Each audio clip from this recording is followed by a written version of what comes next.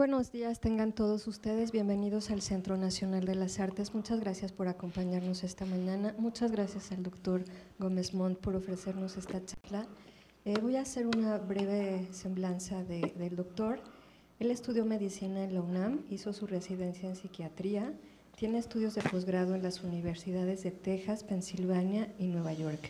Fue profesor visitante de eh, cinco años en la Universidad de Nueva York Participó con el grupo pionero en la aplicación de la tomografía por emisión de positrones en el estudio de pacientes psiquiátricos. Se ha desempeñado como profesor de periodismo de la ciencia en la Facultad de Ciencias Políticas y Sociales de la UNAM.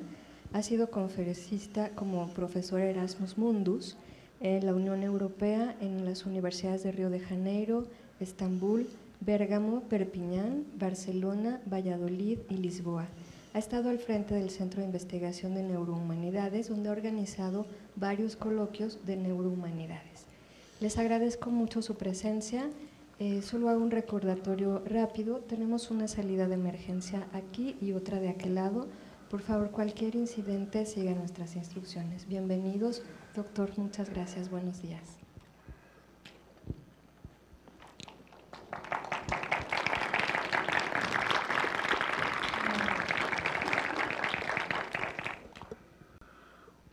Bueno, agradezco mucho la invitación, la iniciativa del rector Graue y del director Calderón de este nuevo programa de arte, ciencia y tecnología que tiene una convocatoria abierta que vence en unos días, donde patrocinan proyectos de investigación que tienen que ver con arte, ciencia y, y tecnología.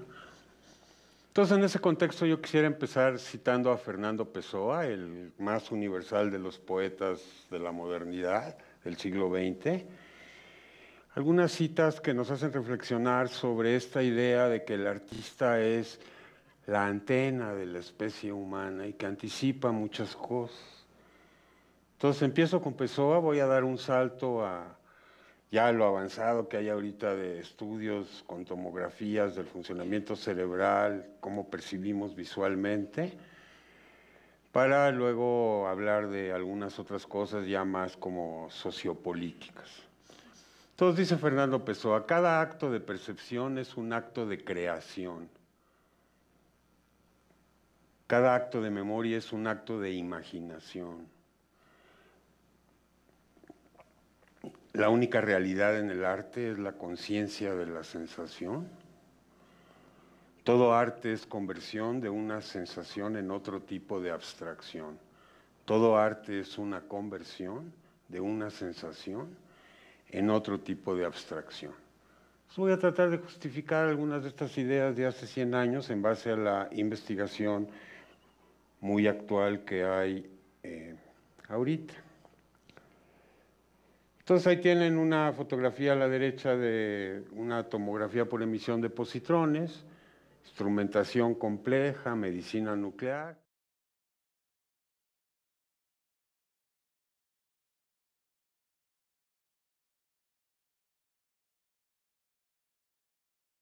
sino también ya específicamente se puede marcar radioactivamente diferentes moléculas y ver, por ejemplo, cómo está la dopamina, cómo está la serotonina, cómo están los receptores a opiáceos que tenemos en nuestro cerebro para las endorfinas, ¿no? para las drogas internas que nosotros producimos. ¿Cómo están los receptores a la anandamida, que es una hormona eh, que se parece mucho en su composición a la molécula de la marihuana y que estamos descubriendo que es uno de los circuitos fundamentales del, del funcionamiento cerebral?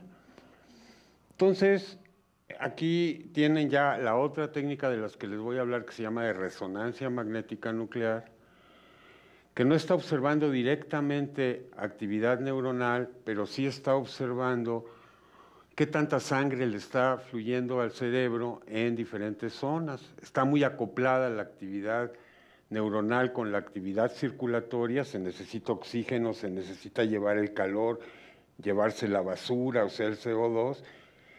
Entonces, observando también la circulación, que ya está muy en contacto con el cuerpo, porque pues la circulación también ya tiene que ver con el corazón y con la respiración, eh, se pueden obtener información como esta que ven ustedes, donde a la derecha tienen algunos de los grandes sistemas del cerebro, algunos los conocen ustedes bien. Conocen la vía visual en la parte de atrás del cerebro que procesa la información del mundo visual, que es complejísima. O sea, su retina le, están llegando trillones de fotones por segundo. Y de alguna manera la retina y luego la corteza visual tienen que meter orden. Por eso bien dice 100 años después Fernando Pessoa, cada acto de percepción es un acto de creación. Y hay enormes diferencias individuales. Hay algunas personas que tienen el doble de receptores en la retina, en el centro de la retina, que otros, o sea, ven en superaltísima resolución. Están descubriendo que hay algunas mujeres que tienen tres receptores, cuatro receptores al color, y no nada más los tres que todos tenemos del verde, el azul y el rojo. Luego el sistema que tiene que ver con lo sensorimotor, que es el que está extraordinariamente desarrollado en los bailarines, por ejemplo. Tienen ustedes el sistema límbico que tiene que ver con las emociones, que no se ve mucho por afuera porque más bien está en las partes de adentro del cerebro. Tienen ustedes la razón de antes, o sea, el sistema frontoparietal izquierdo, que tiene que ver ya con procesos lógicos, con algoritmos muy precisos que asociamos con la lógica y con el razonamiento abstracto. Y el nuevo, que es producto de estas técnicas, que es un circuito que interesa muchísimo en este centro de las artes, que es el que llaman ahí eh, sistema default o sistema basal. Lo han mal traducido como sistema por defecto, que digo, a mí me indigna, ¿no? Porque ya desde hace mucho tiempo se viene considerando la imaginación la, la, loca de la casa, ¿no? Entonces ahora ya es como ahora ya en el siglo XXI unos cuates en Madrid y ahora están, digamos, de alguna manera tirándole mala onda, defecto, como que es defectuoso tener imaginación, cuando que es un sistema central y es el que automáticamente empieza a funcionar cuando estamos papando moscas, cuando estamos como mind wandering, dicen en inglés, cuando estamos como fantaseando, imaginando, como cuando empezamos a dormir, se activa mucho durante el periodo de ensoñación. Entonces aquí una primera lección, pues digo, de lo que se decía del cerebro y el arte en el siglo XX, olvídense, ¿me entiendes? Porque pues ahora resulta de que ya salió todo un sistemota que no habían visto porque está en las partes de adentro del cerebro. Acuérdense que su cerebro no es esférico, sino que son dos como mitades y tiene una parte adentro acá que eh, es enorme. Entonces es como ese descubrimiento de esa parte interior del cerebro. Fíjense cómo algunos de estos sistemas te orientan al mundo exterior el sistema visual, el sistema sensorimotor, pero hay otros que más bien te orientan hacia tu mismidad, hacia tu interioridad, hacia estar pensando en ti, en estar haciendo la función más compleja de la conciencia humana, que es reflexionar sobre ti mismo, verte como modelo.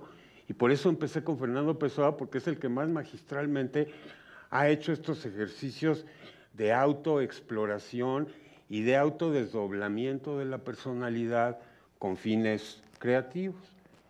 Luego veo que hay algunos biólogos aquí en la audiencia, entonces este, eh, eh, lo más avanzado ahorita del proyecto cerebral de la Unión Europea tiene que ver con modelación en computadora de, cómo están conectadas y comunicadas y cómo se coactivan mutuamente las neuronas y a la izquierda tienen ya un modelito de inteligencia artificial, que es el primer modelo funcionando de cómo funcionan pequeñas partes de la corteza cerebral.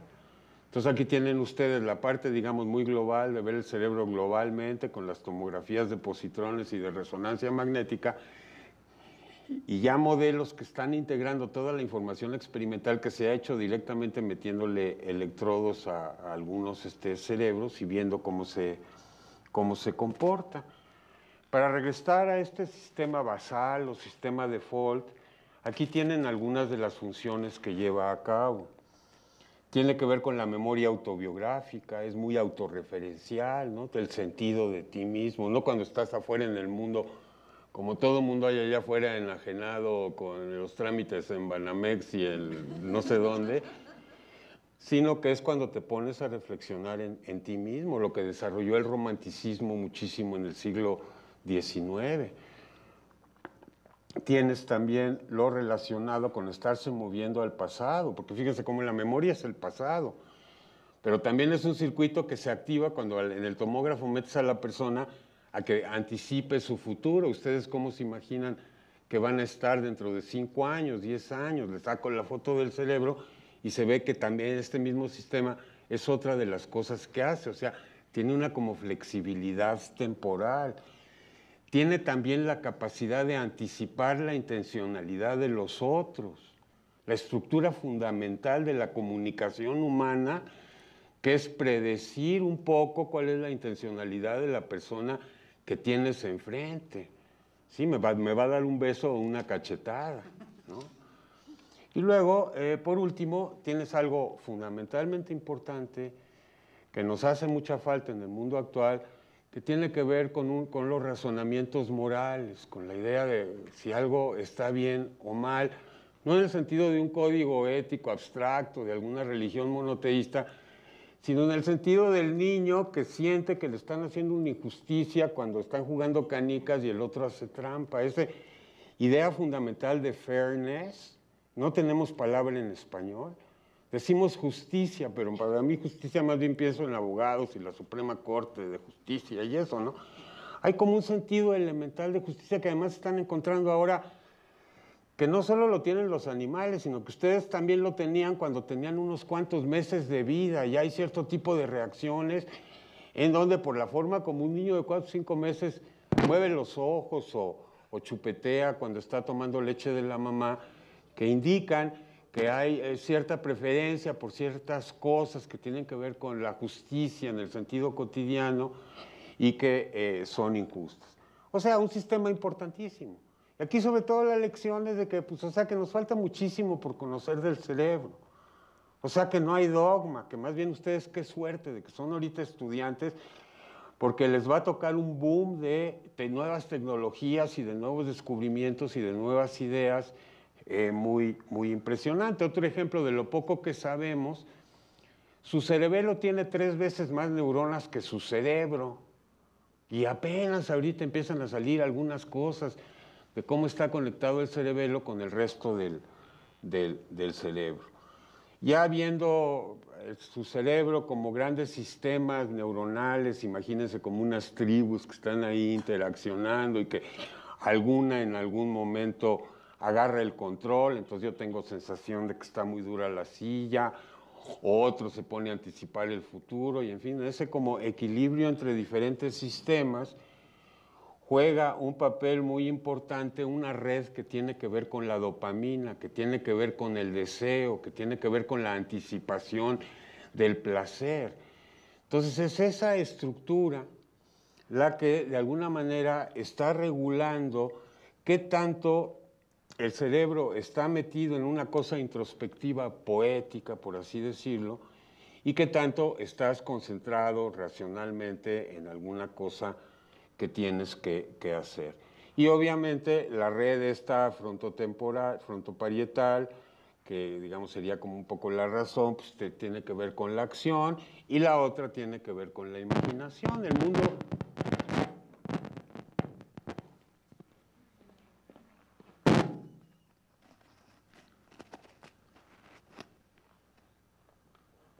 El mundo se ha desequilibrado y entonces la mayor parte de los seres humanos están más bien en la onda acción, con poca autorreflexión y con poca meditación. Ese es el valor de la comunidad artística del país, que ustedes son los que permanecen de alguna manera viva la flama de esta otra parte tan fundamental en los seres, en los seres humanos. Entonces ya haciendo miles de estudios muy precisos de si la persona en el tomógrafo lo estimulo con caras o si lo estimulo con, este, con casas o si lo estimulo con diferentes cosas, se activan diferentes modulitos del cerebro. No sé si pudiéramos apagar esta lucesota para que se vean bien las diapositivas.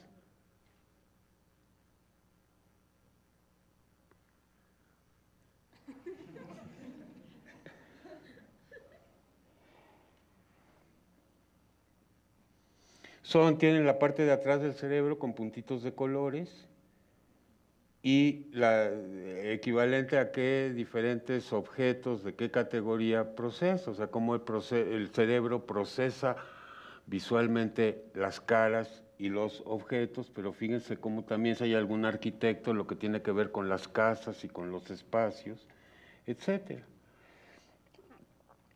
De manera tal de que si lo importante en los seres humanos es la conciencia,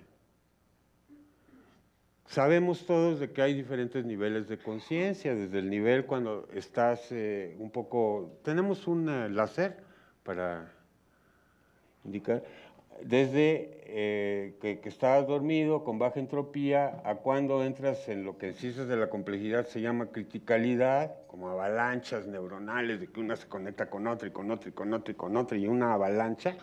O sea, tal cual la metáfora de la avalancha cuando jugaban de chiquitos con la arena, ¿no? De que va todo creciendo y una vez que agarra un cierto ángulo, boom, se viene la avalancha. Eso también está sucediendo a nivel neuronal. Pero hay estados hipercríticos que tienen que ver con la creatividad, que tienen también que ver con los estados inducidos por la mescalina o la psilocibina, en donde tienes una como percepción exaltada, ¿no? unas puertas de la percepción como limpiadas.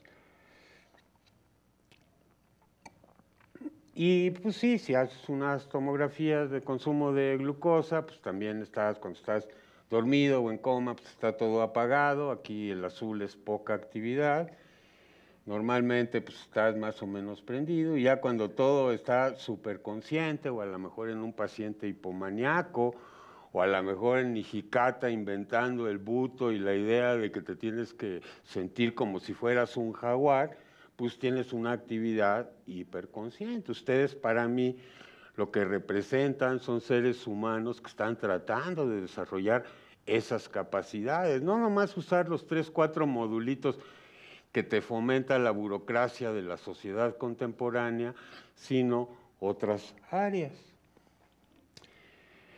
¿Por qué un programa de arte y ciencia? O sea, como que de entrada mucha gente dice, oye, pues son dos cosas totalmente diferentes. ¿No? La ciencia, bueno, pues es el orden, la razón, la lógica, personalidades más bien obsesivas, Freud les diría anales. Y por otro lado, pues los artistas con una riqueza emocional, con algo que alguien podría llamar histérico. De hecho, Pessoa se consideraba un histérico neurasténico. Él sí mismo se, él estudió varios años psiquiatría y neurología y teoría de la evolución y entonces él se entonces, ¿qué tiene que ver el arte con la ciencia? No tiene nada que ver, o sea, ¿qué les pasa? Es ahorita en la gran época de este boom científico, donde pues, cada vez se marginaliza más a las artes, pues, es como una pretensión de estos de ligarse con la fama del otro. Entonces, lo que quisiera ahorita es convencerlos que no es así, que en realidad tienen profundas similitudes, empezando por la similitud de que ambas viven del momento creativo de los seres humanos, sea en la ciencia o en el arte, pero en ambas el manantial es la creatividad y por eso hay muchísimo interés ahorita en estudiar la, creatividad. Entonces, por ejemplo, tú percibes la verdad con la misma sencillez con la que percibes la belleza, o sea, nadie te necesita explicar que la Venus del Milo, mira cómo está la proporción áurea y mira cómo está la relación entre cintura y No, o sea, tú lo ves y oye, qué bonito, ¿no? Igual también, ¿no? Cuando agarras la onda de la suma, pues que 7 más 3 es 10, es una verdad automática. Entonces hay esa como intensidad de percepción de la verdad y de la belleza que todos tenemos físicos famosos, por ejemplo, este que dice que el arte es una teoría sobre la manera como el mundo es percibido por los humanos. Pues eso es la neurociencia también. Luego la idea de los estilos, o sea, hay estilos diferentes en arte, no es lo mismo el estilo. Los científicos no hablan de estilo, ese es, digamos, de su patrimonio cultural de ustedes los artistas. El estilo clásico de la biología molecular el código genético. ¿Cuál código genético? O sea, somos todos diferentes, no hay un código genético. Pero es esa idea ¿no? de la pureza, de la simplicidad de la forma, de la doble hélice, de la reglita esa de adenina, timina, guanina, citosina, de la estabilidad a largo plazo, en arte clásico. Pero hay también una ciencia barroca. La ciencia, por ejemplo, los embriólogos, ¿no? los que estudian la teratología, ¿no? las monstruosidades genéticas que en un momento se pueden, se pueden dar, ¿no? las, este, las, personas estas que están juntas o los niños que nacen con dos penes o ese tipo de cosas, de alguna manera equivalen. ¿no? Entonces, de la misma manera que los estilos de arte emergen a, emergen a través de una serie de reglas formales, las reglas formales del cubismo o las reglas formales del suprematismo ruso, así también eh, los sistemas físicos, los sistemas cuánticos, tienen que ver con idealizaciones simbólicas que las subyacen. Todas las, artes, involucran un razonamiento analítico estructurado. Esa idea de que no es acá la emoción espontánea y acá el cuate pensando, sino que en realidad también un buen estilo artístico tiene también una serie de reglas muy definidas. Picasso y Braque cuando estaban inventando el cubismo pues, se ponían los dos a pintar lo mismo y luego comparaban lo que habían pintado. Los modelos que los físicos cuánticos construyen son el resultado de un proceso parecido a los métodos de análisis en el arte formalista. El arte revolucionario y la física revolucionaria son ambas investigaciones en la naturaleza de la realidad. Y como ejemplo de esta idea de que el arte y la ciencia se potencializan mutuamente, Vean ustedes a la derecha el esquema del metabolismo de una neurona. Cada eh, puntito es una enzima, una proteína. Las rayas son transformaciones que hacen las diferentes proteínas. En negritas ven ustedes arriba que empieza eh, los sistemas bioquímicos que procesan energía, lo que le decían en la prepa la glicólisis anaeróbica arriba, ¿no? Glucosa, glucosa 6-fosfato, glucosa 6-bifosfato, se va como todo formando. Luego llega el ciclo de Krebs y de alguna manera de esas reacciones sale todo el resto del metabolismo del ADN y de las proteínas y de todo lo demás. Es un sistema muy complejo cada neurona, que también es un mensaje importante. Mucha de la neurociencia ahorita está basada como le digo que podemos ver son las neuronas descargando, ¿no? El electromagnetismo, pues todo está basado en las neuronas descargadas, que es una forma de comunicación digital que tienen las neuronas de que están prendidas o están apagadas. Pero las neuronas también llevan a cabo una gran cantidad de computaciones analógicas en las dendritas, de un poquito más y un poquito menos. Entonces todos nuestros modelos están muy cargados hacia lo que tiene que ver con lo que le interesa a la industria de la computación ahorita, que es la onda de las computadoras digitales, pero ahí hay otro enorme territorio por explorar y por problematizar artísticamente. Así como Higata les decía, a ver, siéntete leopardo, a ver, siéntete una neurona, o sea, aprende cómo se comporta la neurona, obsérvala y siéntete que eres una neurona. Y eso se considera muy importante. Hay astrónomos famosísimos que dicen que para descubrir las galaxias que descubrieron ellos, ellos lo que tienen que hacer es sentirse la galaxia. Geneticistas importantes que también afirman que la cosa es sentirte el gen. ¿Cómo sería ser gen? O sea, esa capacidad que tenemos los humanos de transferir nuestras habilidades de autorreflexión y autorrepresentación en otros objetos es precisamente lo que subyace los jaguares de la danza buto o mucho del proceso creativo de los, de los investigadores. El mismo Einstein afirmaba que ningún científico piensa en fórmulas. Digo, no sé, a lo mejor sí hay algunos matemáticos y eso es una aseveración quizá muy amplia, pero cuando menos Albert Einstein, el principal científico del siglo XX, pensaba visualmente, pensaba en experimentos visuales, o sea, su teoría de la relatividad la inventó imaginándose de qué pasa si un tren viene para acá a esta velocidad y yo voy para acá a esta velocidad y todo era como muy, muy visual, muy imaginativo, muy una comunicación entre la tribu de las neuronas visuales y la tribu de las neuronas eh, default. El mismo Fernando Pessoa afirmaba que el binomio de Newton es tan bello como la Venus del Mil, que aquí ya nos mete en otro problema que es la idea de la belleza matemática. Sí, porque en ciencia todo el mundo adora a los matemáticos, ¿no? Y en arte, en un momento dado, el hecho de que un gran artista como Pessoa afirme que en él la sensación de belleza que le produce una estatua, como la Venus del Milo, es equivalente al placer que le produce una bella fórmula matemática, es muy interesante. Y esa idea de la belleza es un vínculo fundamental entre la ciencia y el arte, porque a ambos nos interesa la, belleza, o cuando menos entre arte y, matemáticas. ¿no? Boltzmann comparaba los estilos matemáticos a los estilos musicales, ya no los estilos científicos, sino ya específicamente los estilos matemáticos. La topología es muy diferente a la teoría de la probabilidad y la estadística, estilos. Entonces, aquí también ustedes le pueden enseñar a los científicos a que piensen en términos de estilos. Entonces, este, para los biólogos, ahí está el espectro electromagnético y ahí está la parte del espectro electromagnético que podemos ver a la izquierda con la tomografía por emisión de positrones y a la derecha con la resonancia magnética. Eh, fíjense el pedacito ese chiquitito que está ahí en medio, donde arriba está el arco iris, que es la parte que ve nuestra retina. Nosotros vemos un pedacito del espectro electromagnético. Y con estas tecnologías lo único que estamos haciendo es ampliando la capacidad de la percepción humana con unos aparatos para ver cómo se comporta el cerebro con otro tipo de niveles de, de energía. Entonces, para los biólogos y más científicos de la audiencia, vean esto como qué relación hay entre las neuronas, qué computaciones llevan a cabo y qué matemáticas hay atrás de la computación. Y a los artistas, a los psicólogos, más bien les interesa cómo a partir de las neuronas se generan las experiencias eh, vitales.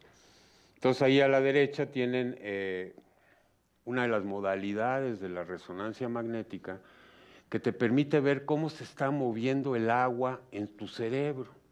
Sus cerebros son el 60% agua. Y resulta ser que las moleculitas de agua no se comportan igual cuando están en dentro del cuerpo de una neurona que cuando están en el axón, cuando están en el cable que comunica la neurona con otras neuronas. Las que están en el axón tienden a moverse más en dirección al axón, las otras pues, andan moviéndose para todos lados. Entonces, aprovechando esa sensibilidad exquisita de la resonancia magnética para detectar movimientos moleculares, eh, salen los mapas de que se ha llamado ahora el conectoma cerebral, o sea, cómo está conectado tu cerebro. O sea, el cableado que lleva a información del cuerpo de la neurona a otras, a otras áreas, a otras tribus del cerebro. Resulta ser que la longitud total de los axones, si ponemos uno tras otro, tras otro, tras otro, en sus cerebros, tienen ustedes 160 mil kilómetros de cables. 160 mil kilómetros de cables. ¿no? ¿Cuánto cableó Telmex el país? ¿Como de cuánto es? O sea, ¿me entienden? Son como unos números extraordinariamente eh, complejos, ¿no? Entonces, eso está permitiendo hacer estudios estructurales muy interesantes en relación con cómo está la comunicación entre las neuronas. Y va a haber entonces diferentes tipos de redes, redes genéticas, redes metabólicas, la red está del conectoma de, las conexiones. Hay mucho interés en las nuevas generaciones en, estudiar esta idea de la red.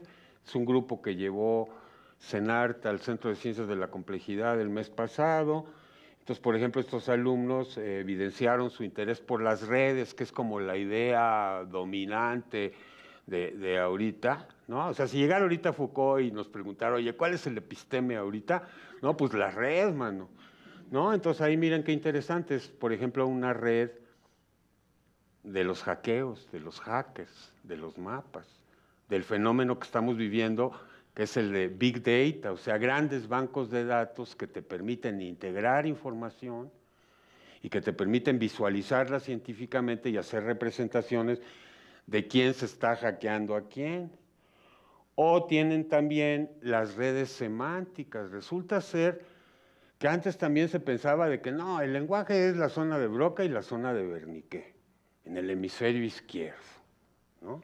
Siempre que la neurociencia del siglo XX pudo despreciar al hemisferio derecho, llamándole hemisferio menor, llamándole una serie de cosas, el hemisferio silencioso. No es cierto. El lenguaje está representado en toda la superficie de la corteza cerebral.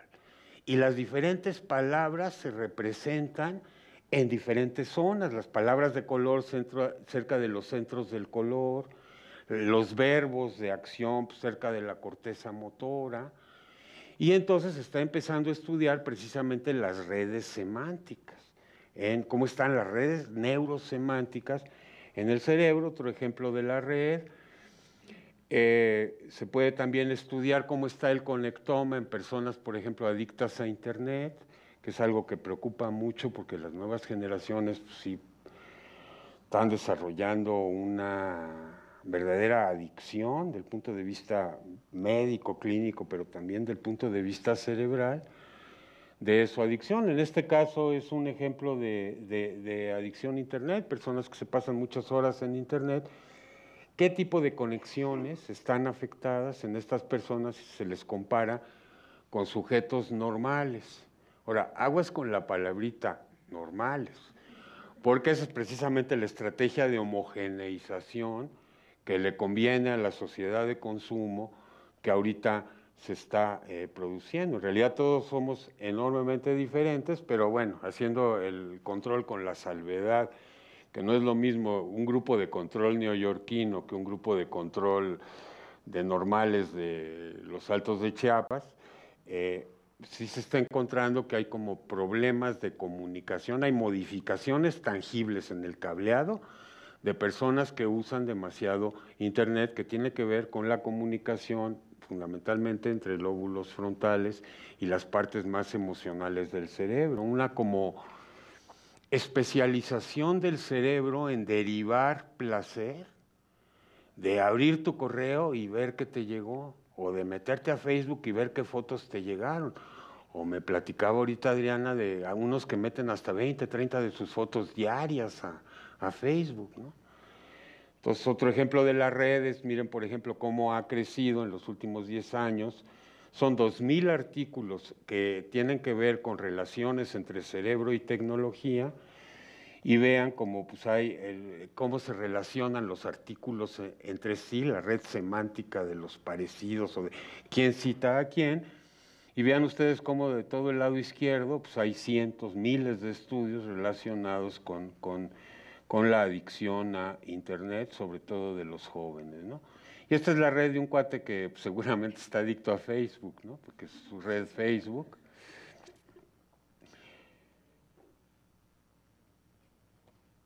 Resulta ser que la computación juega un papel importantísimo en esto, la inteligencia artificial juega un papel muy importantísimo en esto porque el gran fenómeno que vamos a ver en el siglo XXI es una interacción mutua entre los que estudian el cerebro y descubren cómo le hace el cerebro, los que aplican eso en computadoras, que cada vez funcionan mejor porque están inspiradas en lo mejor que está diseñado en la Tierra, que es nuestro cerebro, y que luego los científicos usan esas computadoras para investigar mejor el cerebro. Si es un círculo virtuoso en donde está aumentando eh, muy, muy, muy eh, rápidamente. Entonces voy a hablarles un poquito de fractales y de un juego de tarjetas. ¿Quién conoce un juego de tarjetas que se llama Magic? Bueno, son unas aplicaciones de inteligencia artificial, le dieron a la computadora todas las imágenes de las tarjetas de Magic, que deben de ser cientos o no sé, a lo mejor miles, y luego le pidieron a la computadora que generara ella unas nuevas. Entonces esto de alguna manera tiene que ver con el diseño gráfico por computadoras con inteligencia, con esta nueva inteligencia artificial de las que ahorita les voy a hablar. Entonces fractales es muy bonito porque es una formulita muy sencilla que si la iteras y graficas el resultado 100 millones de veces, te sale eso. Y aquí también un alumno que fue a visitar el centro de la complejidad, unas diapositivas de él, y ya unas obras de él, o sea, es un artista que sabe matemáticas, que sabe computación y que sabe que si le mueves tantito a la fórmula te sale otra cosa, entonces hay experimentalmente moviéndole tantito a la formulita, que son formulitas extraordinariamente sencillas, eh, te, grafica este tipo de, obras que, que, se podrían considerar artísticas. ¿no? Miren, ahí arriba está la formulita, o sea, son formulitas muy sencillas. Lo cual es muy sorprendente, porque tú dices, oye, ¿cómo es posible, me entiendes, que una formulita así te dé eso? O sea, ¿cómo es posible que, la capacidad de condensación simbólica de los matemáticos, mis respetos, ¿cómo es posible que en esto, con una computadora junto que te haga la operación 100 millones de veces, sacas, este, sacas esto, ¿no? Entonces, eh, cambiando un poquito de canal, arte y neurociencias. ¿Quiénes de los importantes en neurociencias han hablado de eso y qué han dicho? Entonces, en primer eh, lugar les eh, presento a Oliver Sacks. ¿Quiénes han ido a hablar de Oliver Sacks? él se interesó en estudiar los cambios visuales que ocurren en una persona justo antes de un ataque fuerte de migraña. No todos los de migraña los tienen, pero algunos sí los tienen. Y resulta ser que el mundo visual empieza a ser procesado en forma diferente, en donde primero la persona ve el campo visual como de muchos puntitos, luego lo ve como teselaciones, como áreas un poco más grandes, y por último pasa a ver como grandes planos, y ya luego le viene el, dolor de cabeza y la fotofobia y ya, se acabó, ¿no? Entonces aquí Oliver Sacks, un gran neurólogo, quizá el más grande divulgador de las neurociencias del siglo pasado, eh, plantea que lo que sucede es de que estas personas, por cómo están sus conexiones cerebrales, su configuración cerebral, por muchas cosas que no sabemos, porque no tenemos ni idea de qué es la migraña, eh, van pasando por estas diferentes etapas, pero que resulta que son etapas, que son estilos definidos en la historia del arte. ¿Sí? Los mosaicos romanos o los mosaicos bizantinos, la cosa del puntillismo de Seurat y Signac, la cosa del cubismo. El cubismo es interesantísimo, se ha estudiado muchísimo en neuroestética, porque resulta ser que ustedes pueden reconocer que esto es una botella si la ven así, pero si la ven así, que es una botella con agua. Lo cual quiere decir que en su mundo visual debe de haber alguna neurona que tiene información sobre las múltiples representaciones de diferentes ángulos de un objeto. Y eso es precisamente lo que estaba tratando de hacer Duchamp con su hombre bajando la escalera, o aquí con, Picasso y, y Braque, ¿no? Bueno, hay muchas aplicaciones, ¿no? Para así como muy, muy obvio, para alguien que no ha visto muchas de estas imágenes. Consumo cerebral de glucosa, si la persona le pones a ver algo, pues se activa, está la flechita, la corteza visual aquí atrás. Si alguien está oyendo, pues está, se, están, se están activando zonas que tienen que ver con la comunicación verbal. O sea, Broca y Berniqué no son todo el lenguaje del cerebro, pero sí son el Berlusconi de su cerebro, porque son los que controlan los medios de comunicación, son los que controlan la información que entra y la información que sale. Luego, cuando estás pensando, pues se activan eh, lóbulos frontales, cuando estás recordando, pues se activa la zona del hipocampo, etcétera. Entonces, eh, también un cambio muy dramático, se llaman en psiquiatría cicladores rápidos, que cada dos días pasan un estado totalmente depresivo a un estado hipomaníaco, ¿no? De cero actividad y me quiero morir, a viva la vida y yo voy a convencer a todo el mundo de que esto puede ser un paraíso. Y, miren cómo, cómo, dramáticamente está cambiando el metabolismo. Y menciono lo bipolar a propósito porque se ha desarrollado mucho, se ha desarrollado mucho la teoría de que hay una relación profunda entre la creatividad, entre los individuos creativos y genes bipolares en ellos o en su familia. De hecho, si analizan ustedes con cuidado la biografía de, digamos, los 15 principales expresionistas abstractos, empezando por Jackson Pollock, que tanto le gusta aquí Octavio Moctezuma, eh, todos ellos, de alguna manera, tenían, este, tenían antecedentes de, maníacos, depresivos, alcohólicos, hospitalizaciones, conducta reckless, ¿no? conducta irresponsable como el polo que se estrelló contra un árbol de día en una recta, en fin, ¿no? Hay, hay, hay, un vínculo muy, muy importante. Y hay de hecho un libro muy bonito que se llama Tocado por el Fuego, que es un análisis profundo sobre las eh, listas ¿no? de, de, de, artistas que han tenido esta cosa eh, bipolar. Yo francamente veo la bipolaridad, bueno, en parte porque pues, yo soy bipolar, no digo leve, pero yo también tengo mis oscilaciones fuertes, ¿no? Pero a mí se me hace muy buena onda porque tengo una capacidad de percibir la realidad pesimistamente y la capacidad de percibirla muy optimistamente y entonces pues como que hago una combinación. No, no, no, veo como muchas gentes nada más una realidad, sino cuando menos veo dos según cómo me siento. Yo intuyo, bueno, no más yo, digo, la doctora esta, Redfield se llama, que eh, eh, lo relaciona directamente, y lo cual también es muy interesante con familias que tienen algún bipolar, porque eso es indicativo de que otros genes en la familia son genes creativos sin necesariamente la patología. Uno de los grandes intrigantes de la psiquiatría es por qué persisten estas enfermedades, por qué la esquizofrenia o la cosa bipolar persiste, si, si tienes eso es difícil que tengas mucho éxito reproductivo. Y la explicación que empiezan a dar es que son genes que con cierta combinación de otros genes, pues sí, te producen la enfermedad y el cual se suicidó, pero en otras condiciones logran hallar virtud de su valor otros primos y son gente muy creativa. Entonces, eh, volviendo a este otro gran sistema de control de la conducta, que es no la atención sino la búsqueda de placer, la anticipación de placer, la anticipación de premios.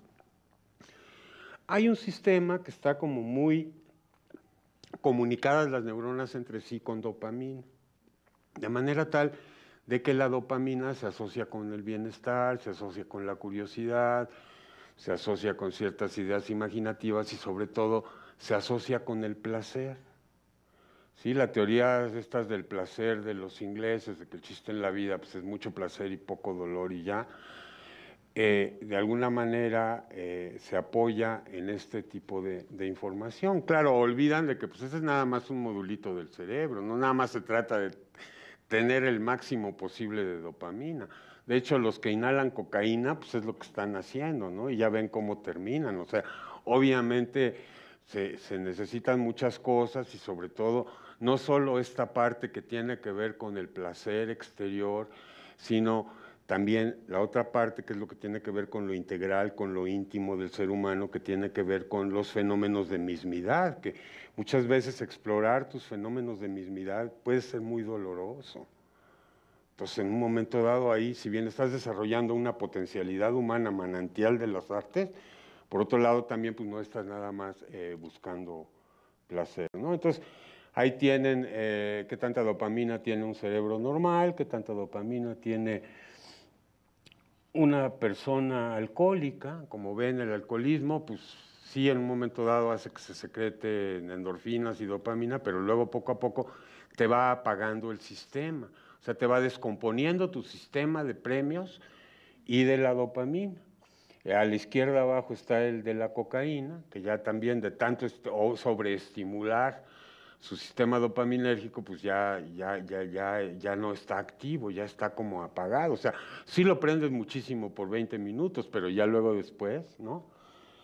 Y por otro lado, muy interesantemente, también dado los problemas nutricionales del país, los obesos, también parece que las personas, yo, yo de chiquito era obeso y sí tenemos un problema con regulación del, del placer, ¿no? Y con forma de huir de la angustia por medio del placer. Y luego, claramente, la industria de los alimentos ya encontró la fórmula perfecta, que es algo que tiene una cierta combinación de grasas, de carbohidratos y de sal, que te lo comes y te lo comes, ya que no te puedes comer solo una. Y la cosa es que no te sacian.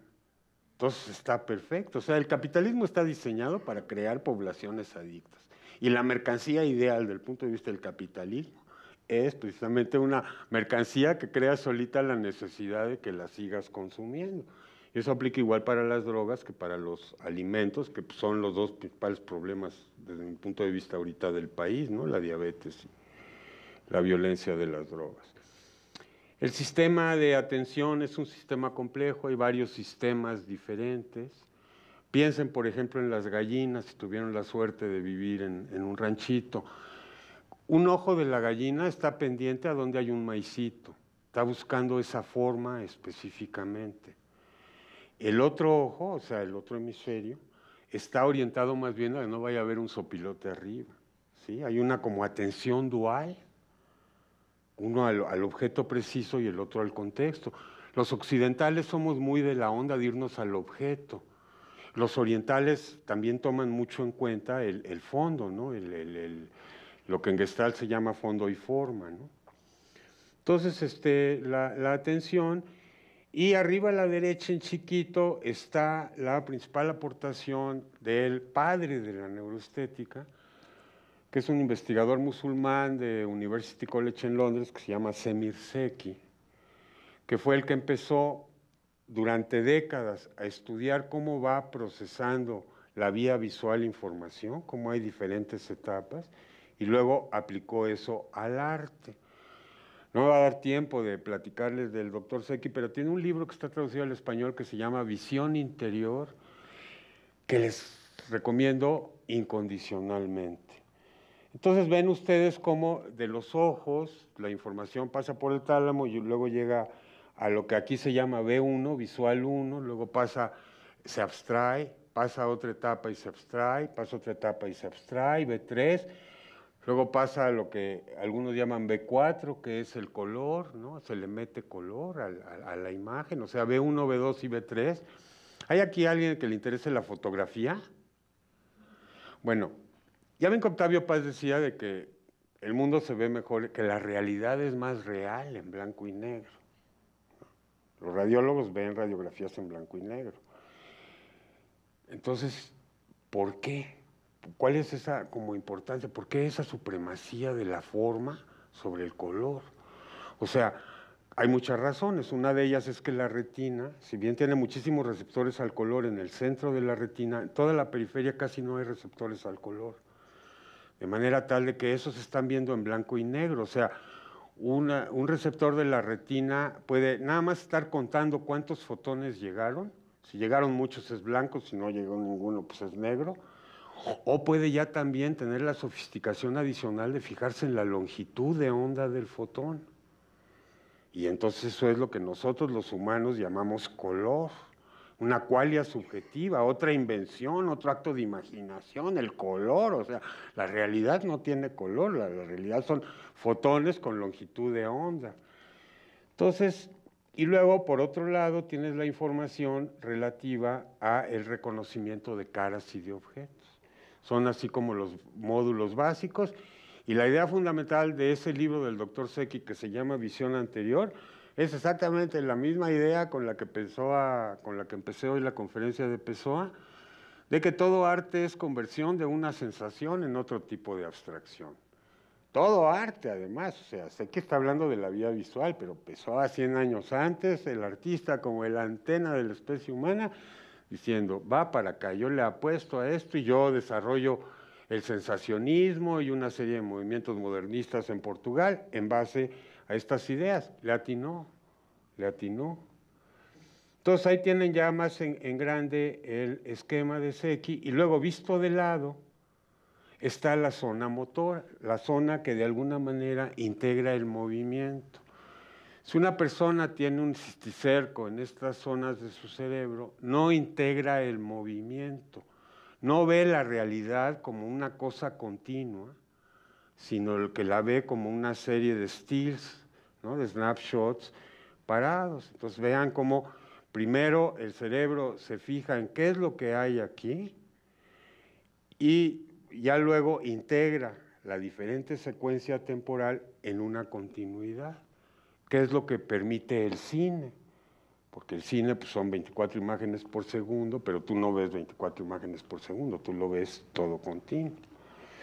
Entonces ese es básicamente el modelito, diferente, se va poco a poco abstrayendo el mundo visual, se ve ya luego el color, se luego ya lo que nos importa a los primates, que es la cara del que tenemos enfrente, y ya, ¿no?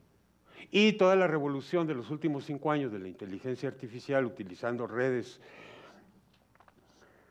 eh, complejas, redes neurales complejas que les llaman o profundas o recursivas o convolucionadas, todos estos avances que básicamente lo agarró Google y, Facebook, ¿no? antes que las universidades, ¿no? Eh, es lo que está permitiendo pues, todo este impacto que están teniendo la, ya la inteligencia artificial inspirada en el tipo de investigaciones neuroestéticas de Semir Seki para estar creando ya el mundo que les va a tocar a ustedes jóvenes vivir, un mundo muy turbulento, ¿me entiendes? Porque pues, ya ahorita están hablando de que tuvo que ver con la salida de Inglaterra de la Unión Europea, o sea, el rompimiento de la Unión Europea. O sea, ya nomás quedaron los alemanes y los franceses, imagínense, se van a pelear, no, no quedaron los ingleses ahí como con su cortesía para mediar. Y luego las elecciones de Trump, entonces ya son, ya son palabras mayores, o sea, aquí sí ya no estamos aquí filosofando sobre la belleza, sino que estamos en los problemas actuales contemporáneos. Entonces, este, lo que voy a hacer es pasarles algunas diapositivas para amenizar de la Bienal de Arte de Venecia. Yo, eh, hemos tomado, Raquel Ruiz Alcántara, Jocelyn Vega y yo, fotos de las últimas cinco Bienales de Venecia, entonces aquí simplemente un intento de ejemplificar a esta idea de la forma y el color y el análisis visual que va haciendo con imágenes de, la Bienal, ¿no? Entonces la forma visual son los lóbulos occipitales, se ve en blanco y negro, se fija en líneas rectas, curvas sencillas, espirales, y ya luego visual 2 y visual 3 ya va buscando formas más complejas, formas que ya son muy matemáticas, ya no es donde hay una línea recta y en qué inclinación está, qué es lo que hacen las primeras neuronas, sino ya en un momento dado formas muy complejas. ¿no? Análisis de Fourier, el cerebro hace análisis de Coxeter, análisis de Lee, wavelets, muchas cosas. ¿no? El cerebro es matemático, o sea, sí es cierto, no sé quién fue el que dijo de que Dios creó esto con, con las matemáticas, pues sí, aplica perfecto al cerebro. Hay una estructura matemática y computacional muy, muy, muy compleja en la percepción, en la percepción visual sencilla. Entonces, este, ¿de dónde surge nuestra capacidad para leer, por ejemplo? El principal asesor ahorita del presidente Macron en Francia es el doctor Stanislas de Jaene, que es el pionero del análisis de cómo el lenguaje anida en el cerebro.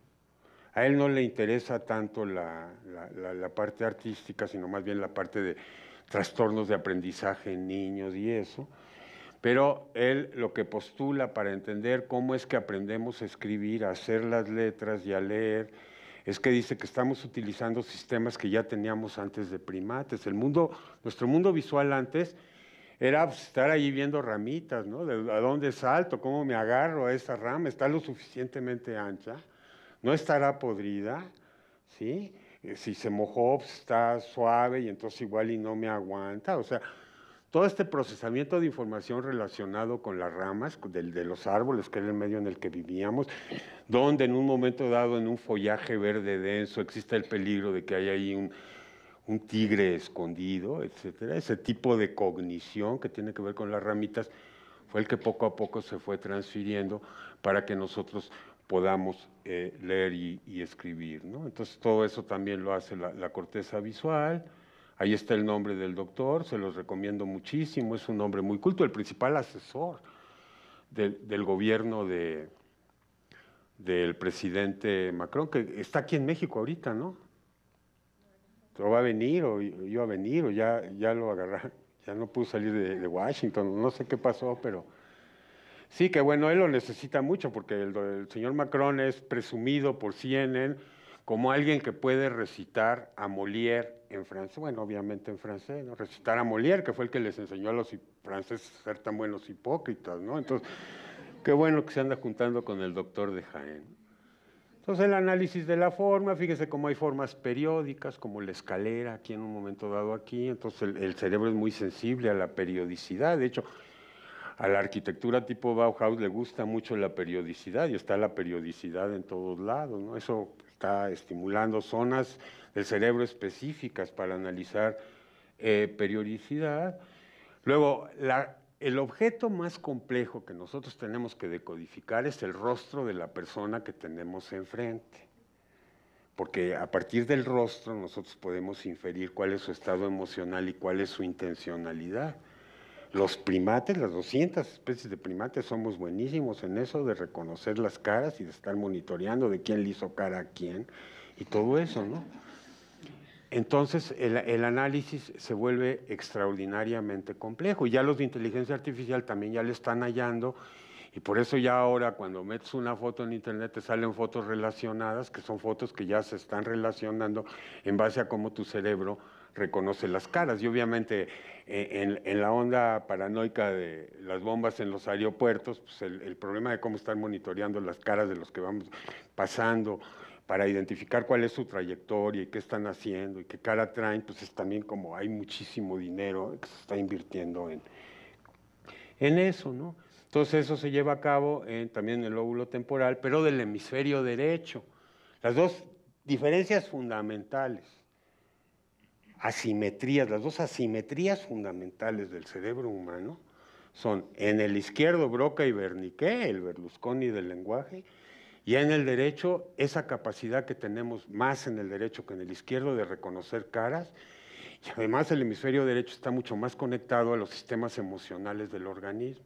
Por eso se dice que el hemisferio derecho es el emocional y el izquierdo es el racional. Son, son como sobregeneralizaciones, un poco exageraciones, a muchos neurobiólogos les cae mal que digas eso, pero tiene un fondo de verdad que es este. ¿no? Entonces, el análisis geométrico del rostro permite inferir el espacio emocional y sentimental de los seres humanos. Esto es la base de la empatía, de la moralidad, de la introspección y de la vida sociopolítico-cultural. Tu rostro humano es un testimonio de los gustos estéticos de tus antepasados. O sea, la señorita que le gustó a tu tarabuelito y que le produjo dopamina y que la dopamina también estimuló sus circuitos románticos para que establecieran una relación a largo plazo y todo eso, ¿no? el neuroerotismo y el neuroamor, toda enorme cantidad de información, de alguna manera tiene que ver con qué tipo de caras le gustaban a tu abuelito. Igual las mujeres, o las mujeres también se fijan mucho en la voz, en la persona, ya en otras características incidentales, ¿no? Como la económica, bueno, no, ya ahora ya no tan incidental, pero en un principio fue una cosa estética, la fuerza de evolución tiene que ver con esa atracción estética que sentimos hacia el otro, de la evolución no nomás en los primates, o sea, un insecto se especializa sus neuronas en cierto tipo de colores y de formas, de cierto tipo de pétalos y de ciertos olores, de manera tal de que entre ambos logren fidelidad. Es decir, la flor lo que quiere es que no lleguen diferentes insectos y luego vayan y anden pepenando en otras flores. Que si van a ir a pepenar otra flor, que vayan a pepenar a una flor de esas, ¿no? Y también el insecto, de alguna manera, al especializarse, pues no tiene eh, tanta competencia. Entonces hay una coevolución de este, entre comillas, sentido de belleza de las flores y de los insectos, en donde hay una coevolución de ese atractivo. Y para mí lo que es muy sorprendente es que ese atractivo en el mundo de las flores y de los insectos, para mí también es atractivo, ¿no? el olor de, las flores, ¿no? el, máximo mensaje amoroso, en fin. ¿no? Entonces hay como mucha continuidad en muchas cosas. Y luego también la otra cosa es de que tu rostro, antes de la cirugía plástica, era un registro de tus estados emocionales. Les dieron unas cámaras de video hace décadas a unos grupos indígenas y les dijeron que filmaran a las más bonitas. Llevaron a las viejitas. Oye, pero ¿por qué? ¿No?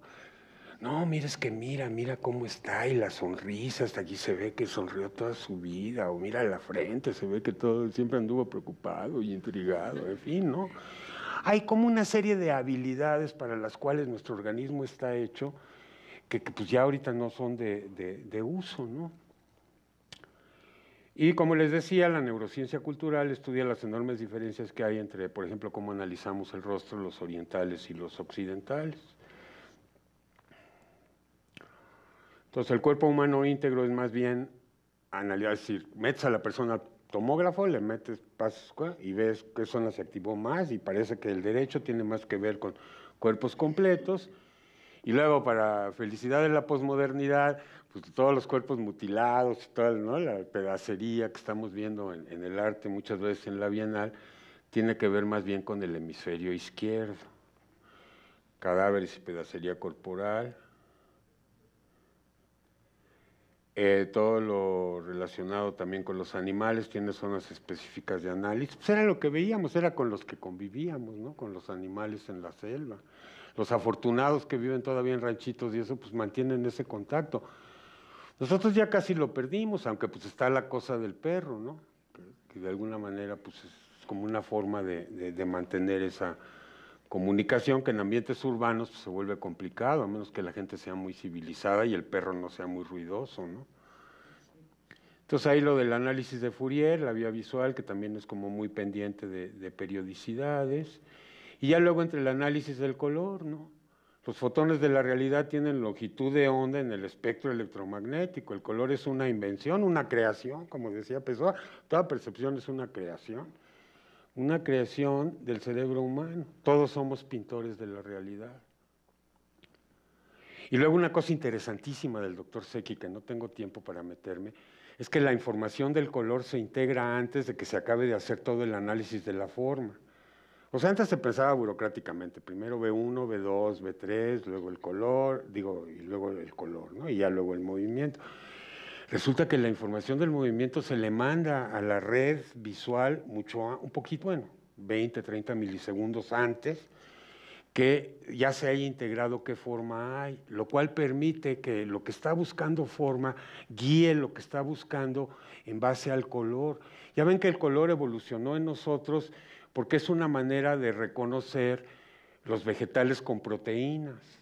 Lo, lo, que es bueno para la salud desde el punto de vista de, no tanto proteínas, sino de vitaminas, es la vitamina C del limón verde, es la A de la zanahoria, o sea, la realidad se tomó la molestia de codificarnos con color aquellas cosas que nos podían ser interesantes, pero para eso necesitábamos desarrollar estos receptores sensibles al color, ¿no? Entonces, este, eh, sirve como guía, es decir, tu cerebro no ante una imagen no hace un análisis píxel por píxel de todo, sino que ya de entrada, cuando le está llegando la información, está aplicando información que ya le llegó un poquito antes del color para enfocarse sobre ciertas áreas del, del cerebro. ¿no? Hay zonas que analizan objetos, el color distrae a los radiólogos. Y ya luego unos módulos especiales del movimiento, y en la Bienal de Venecia cada año hay más cada dos años hay cada vez más este, obras que están en, movimiento. Y claro, la danza, ¿no? la ópera, el teatro, todo eso pues tiene, tiene muchísimo. Perdón por lo del teatro, yo sé que aquí hay muchísimo interés por lo del teatro, pero no va a dar tiempo, pero hay un investigador mexicano que da clases en el Centro Helénico, cursos sobre teatro y cerebro que les, que les recomiendo. ¿no? Bueno, entonces ahora cambiándoles otra vez de canal, quisiera problematizar un poco lo que acabo de presentar. O sea, el pretender que este tipo de estudios, que les pasé y ahorita les voy a pasar unos más, ya nos permiten entender el arte, es una fantasía, porque el arte es demasiado complejo. Nada más de entrada, el arte no nomás es cerebral, sino es todo el cuerpo. El artista manifiesta todo su cuerpo. Pintores que dicen, mi mano pinta por mí.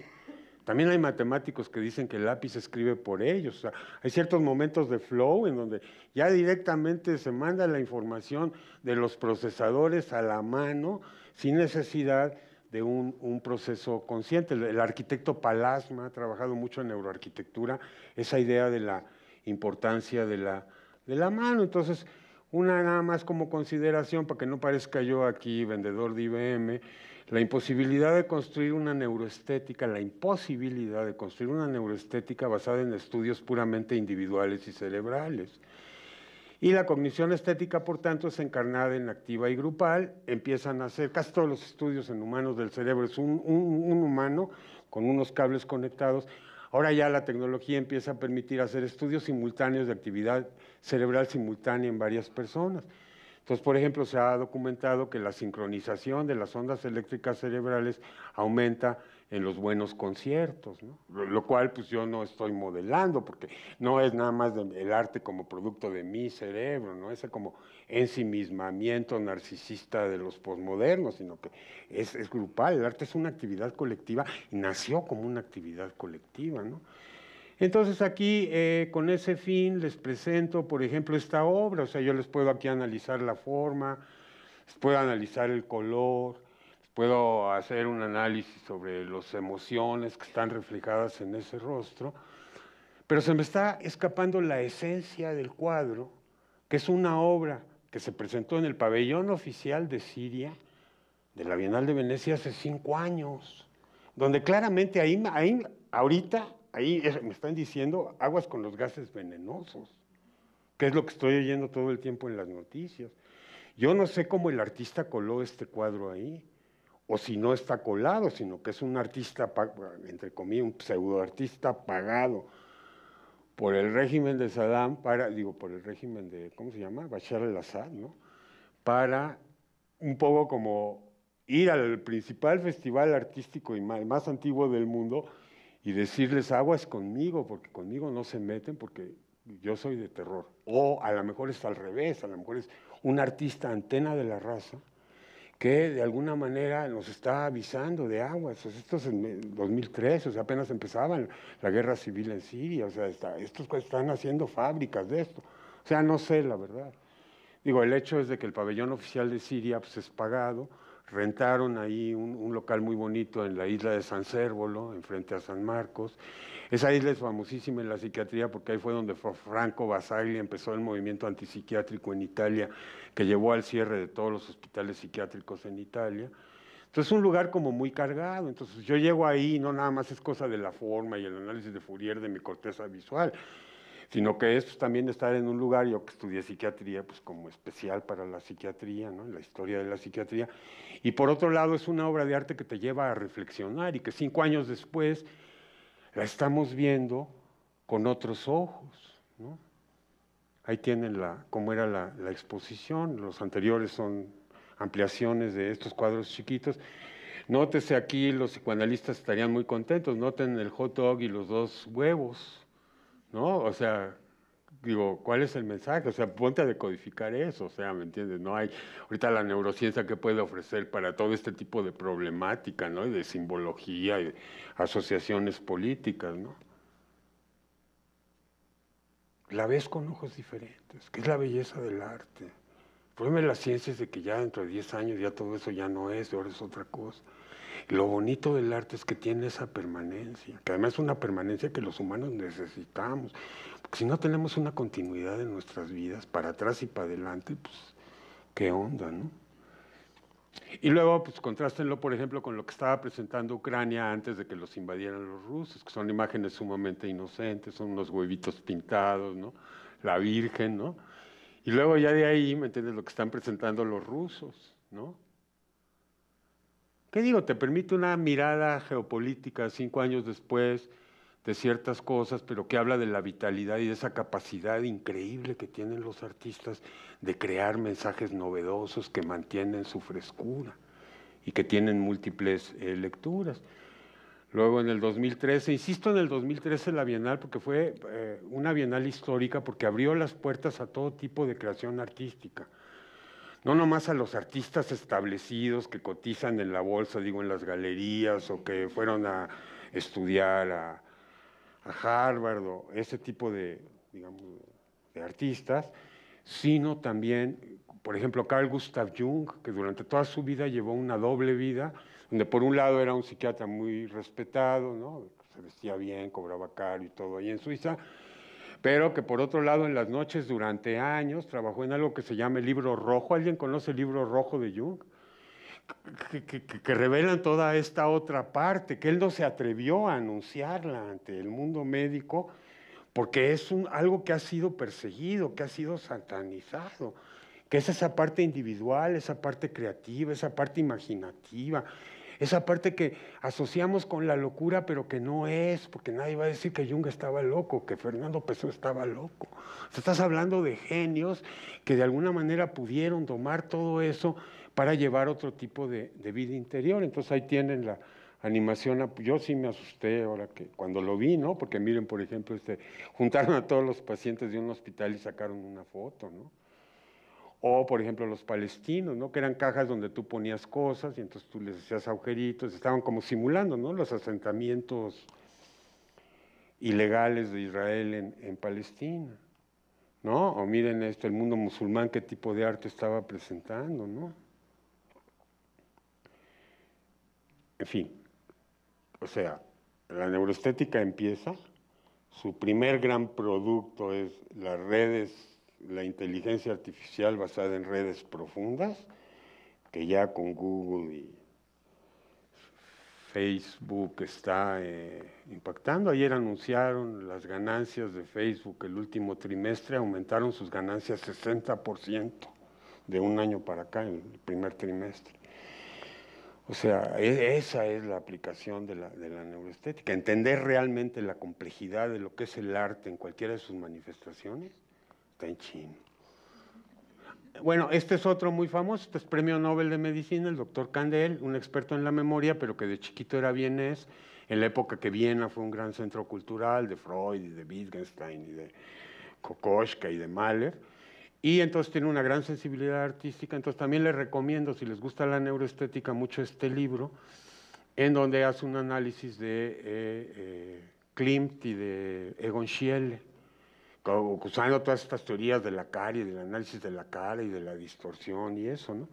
Y ahí está otra vez el mapita de, ya no sale B1, B2, B3 y B4, sale B5, que tiene que ver con el movimiento, fundamental para el cine, la teoría de la mente es donde analizamos, interpretamos la intencionalidad de las otras. Son las áreas que tienen que ver con la percepción visual. Tiene todo lo relacionado con las neuronas en espejo, que también debe de ser de grandísimo interés en la comunidad artística, lo que, la imitación, las bases de la, de la, de la imitación y del aprendizaje por imitación. En fin, una serie de áreas de la percepción visual Ahí tienen eh, abajo el movimiento que recorre una persona cuando está viendo la cara de arriba. El movimiento de los ojos es quizá el movimiento más fino que puede llevar a cabo un ser humano, eh, excepción hecha de un violinista, un pianista. ¿Por qué digo que es fina? Porque tú tienes que anticipar en un campo visual que no has visto dónde hay algo de interés. Es predictiva, porque decía Pessoa, es creativa. O sea, no es un análisis rutinario, burocrático de píxel por píxel, sino que te vas sobre ciertas cosas. En parte te vas sobre ciertas cosas por el color que te avisó unos milisegundos antes de lo que viene, pero fíjense cómo es un movimiento muy sistemático. Y este movimiento sistemático centrado en los ojos y en la boca es diferente al que hacen los orientales, que se enfocan muchísimo en los movimientos relacionados con la nariz que son muchísimos músculos. Darwin escribió muchísimo la relación entre emociones y la musculatura de la cara. Hay una, y yo nomás me estoy quedando en la cara, pero pues en realidad es todo el cuerpo. Se oye bien porque ya aquí se me está como haciendo cosquillas, no sé, igual me están diciendo que ya me calle. ¿Cuánto tiempo me queda? Un rato. Bueno, entonces, eh, ahí está el, eso, ¿no? Tú cuando estás viendo un cuadro lo estás de alguna manera haciendo un sketch con el movimiento de los ojos. Y incluso, por ejemplo, las zonas que reconocen caras se parecen un poco en los otros primates y en nosotros, ¿no? Luego, por ejemplo, los autistas ven las caras diferentes. Hay unos que dicen que mucho del problema de esta como incomunicación, que es un fenómeno que empezó a nivel epidemiológico en Silicon Valley, con los niños que tenían un papá y una, un papá que trabajaba en Google y la mamá que trabajaba en Facebook, ¿no? El niño pues, autista, ¿no? Entonces, este, ven diferente, ven diferente.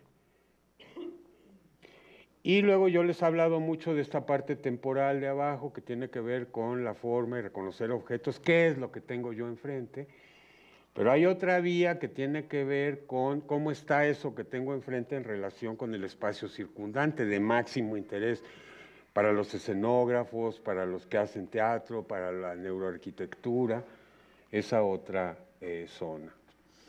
Otro ejemplo, digamos, histórico de la neuroestética es esta doctora que en base a cómo está la distribución de los receptores a la retina, los verdes ven, este, ven color y los otros nada más cuentan fotones, o sea, unos ven, ven entre comillas en blanco y negro y otros en color.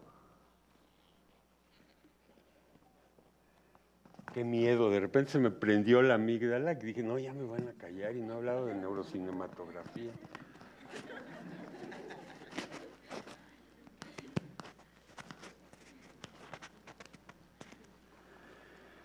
Entonces, tú tu registro del color lo tienes en el centro de la retina. O sea, la, información que llega al centro de la retina es de color y lo que está alrededor básicamente está llegando de blanco y negro. Ahora, si me preguntan por qué yo ahorita en visión periférica estoy viendo en colores o que dices no es cierto, la razón es que otra vez lo creativo de tu cerebro, tu cerebro está extrapolando lo que ya vio cuando te fijaste el color y te lo está como que de alguna manera adicionando, ¿no? Pero el caso es de que en el centro de la retina también hay una gran densidad de receptores. De manera tal de que tú lo que estás viendo con la mirada enfocada, lo estás viendo con muchísima precisión, alta frecuencia, como dirían los ingenieros, muchas, muchas como pequeñas olitas que forman el cuadro. Y en cambio lo que te está llegando en visión periférica lo estás viendo como grandes contornos.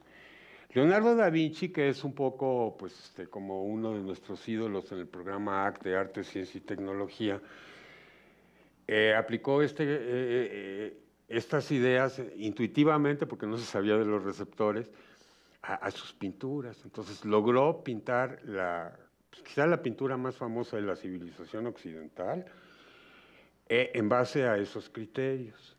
No estoy diciendo que la Mona Lisa sea nada más esto, que esto explique el enigma de la sonrisa de la Mona Lisa. Fueron muchísimas otras cosas. Leonardo llegó cargando el cuadro a la corte del rey de Francia, eh, que estuvo además el cuadro pintado a la entrada del cuarto de los reyes de Francia durante, durante muchos este, años. O sea, tiene como muchísimas cosas, ¿no? Pero una interesante, desde el punto de vista de la neuroestética, y aquí estoy acotando el valor de la neuroestética. La neuroestética no va a explicar todo, o sea, del todo es inexplicable, es demasiado más grande que los ridículos modelitos científicos que tenemos a principios del siglo XXI, comparada con la complejidad que estamos encontrando del funcionamiento cerebral. Pero es interesante el hecho de que entonces tú en visión central estás viendo la imagen a la derecha con altísimo detalle, donde claramente la Mona Lisa está seria, pero con tu visión periférica, con su estilo ese esfumato, no sé cómo le dicen, eh, se pinta una sombra que te da la finta de una sonrisa. De manera tal de que es lo que está pasando, la información de tu visión central te está diciendo está seria, no te le acerques, y la de tu visión periférica te está diciendo, te está sonriendo, llégale, no le tengas miedo. ¿Sí? Y, eh, pero entonces, ¿qué pasa? O sea, ¿cómo se concilia el problema fundamental es cómo si hay diferentes módulos cerebrales, cómo se concilia la información. De repente, para que de repente salga el broadcast oficial de tu conciencia, de esta es la línea oficial del partido en estos próximos 100 milisegundos y esta es la neta. ¿no? Que, no, que no te entra ese conflicto, esa como confusión, que a veces nos entra en momentos de avalancha emocional, pero que normalmente pues estamos muy claros qué es lo que estamos percibiendo. Entonces, ¿qué pasa si una parte de tu cerebro te está diciendo está seria y la otra te está diciendo está sonriendo? Que no es una cosa trivial, porque para los primates en, vida social lo más importante es me acerco o me alejo, ¿no? Digo, física o simbólicamente, ¿no? Entonces, él lo que dice es de que la doctora Livingstone lo que dice es de que parte del enigma de la sonrisa de la Mona Lisa se debe a esto, y ya es una teoría basada en cómo se comunican los diferentes módulos cerebrales y qué hace un módulo cerebral cuando le está llegando información discrepante.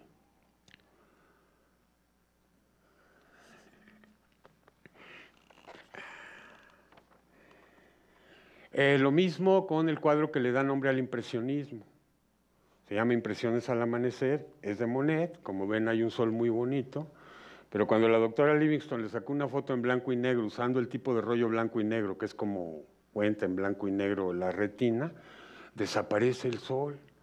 O sea, hay equiluminancia. la misma cantidad de fotones está siendo emitida por el sol y por las nubes grises a su alrededor. Entonces los fotones, estos babosos que nomás cuentan fotones, pues dicen, no, pues es lo mismo. Pero el de color pues, se pone feliz, ¿no? Porque hay un color ahí interesantísimo. Entonces, ¿qué está pasando en tu cerebro cuando estás parado enfrente de este cuadro? Igual y no tanto aquí. Y no se pudo apagar la luz, no doy crédito, que no pude presentar bien mis imágenes. El Centro Nacional de las Artes. Apaguen la luz, por favor. No se ve. Entonces, ¿qué, qué, qué está pasando en tu cerebro? Una zona dice, oye, no hay nada. Y el otra zona te está diciendo, hay un sol padrísimo. Y entonces como que de repente como que entra en duda y esa como duda, esas como oscilaciones cada 20, 30 milisegundos entre será esto, será esto otro, o sea, salta esto a la conciencia, salta esto, es precisamente lo que nos lleva a, la impresión esta extraordinaria de cómo capturar las características de la luz que lograron los impresionistas. Bueno, entonces este, los de neurocinemática lo que hacen es que meten a la persona al tomógrafo y les pasan películas. No se puede apagar todo el tiempo. ¿Por qué? ¿Protección civil o...? ¿Eh? Ah, perdón, perdón. Entonces, eh, les pasan la película El bueno, el malo y el feo a la persona en el tomógrafo y entonces este, están registrando, son 10 minutos de registro de cómo está la actividad global del cerebro, cómo está oscilando con las diferentes imágenes de la película en tiempo real. Y eh, eh, resulta ser de que es precisamente esa zona que venimos diciendo, fusiforme, que reconoce caras, la que se activa cuando la persona está, cuando en la pantalla sale una imagen de caras. Si sale una imagen de espacios, pues se activa la zona que tiene que ver con computación de espacios y si sale una pistola, por ejemplo, o algún objeto, se activa otra zona que tiene que ver con procesamiento de objetos. De manera tal que si estiramos la corteza cerebral, tienes el hemisferio, son dos metros cuadrados, el hemisferio derecho, el hemisferio izquierdo, lo, lo conectas y le pones diferentes colores, entonces ahí están las zonas que procesan caras en rojo, objetos en azul y edificios en verde. Para la neuroarquitectura, fíjense cómo los neuroarquitectos, que es como muy sea, hay diferentes zonas, ¿no?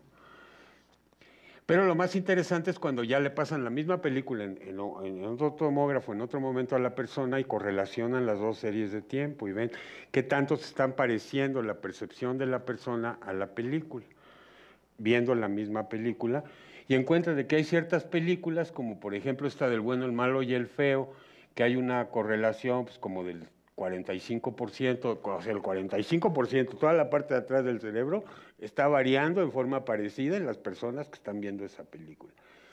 Pero que si te vas a un autor, a un cine de autor, a un psicólogo magistral, que sabe precisamente qué tipo de emociones te puede evocar y cómo hacerle para jalar tu atención a eso, pues se logra aumentar la sincronización hasta un 65%. En contraste con lo de abajo, que es un video que se tomó ahí de unas gentes en un parque, ¿no? Entonces, el arte estimula la morfogénesis novedosa de estados cerebrales y mentales, esa es la importancia del arte. Ahí tienen el, cableado, los 300 millones de cables en los hombres y los 350 millones de cables en las mujeres que conectan los dos hemisferios cerebrales, viendo el agua, ¿no? viendo los axones. Esto no lo podemos saltar y para rápido terminar con inteligencia artificial, entonces lo, que, lo primero que tiene que hacer un sistema de visión computacional es reconocer objetos, entonces se los marcan, luego eh, ponen esta información en diferentes etapas, abajo tienen las etapas de la vía visual, B1, B2, B3, B4, etcétera, diferentes etapas con retroalimentación, o sea, la además no va avanzando como en fila burocrática, sino que salta la información, ¿no? Por ejemplo, cuando apenas B1 está activando B2, ya, ya se activó color, entonces color te puede orientar sobre qué partes de la imagen enfocar. Es un sistema de redes neurales, pero que tiene retroalimentación. ¿sí? Y entonces, en base a eso, están este, eh, diseñando los buscadores estos sofisticados que se usan para venderle un político a la población o un producto. Digo, la, realidad es que cuando vemos hábitos de consumo, si usas mucho Facebook y eso, ellos saben más de tus hábitos de consumo que tú. ¿no? Porque además, como es Big Data, como toda la información está digital y toda la pueden ir correlacionando, además está la ley de Moore, que las computadoras duplican su poder de cómputo cada 18 a 30 meses al mismo costo, no hay mercancía en el capitalismo que se comporte así, pues el crecimiento es exponencial. Entonces el otro día ahí en el Centro de Ciencias de la Complejidad, de una conferencia se un cuate que estudió un millón de millones de veces que la gente se conectó y se desconectó de Internet y en base a eso sacan mapas de qué tanto duerme la gente en todo el mundo.